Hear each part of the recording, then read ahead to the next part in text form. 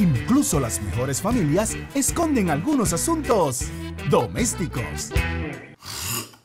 Este verano llega a Cines una comedia irreverente y divertida, donde no todo es lo que parece. De los productores de Sexo, Pudor y Lágrimas y Rosario Tijeras, Chance, una película que pondrá a Panamá patas arriba.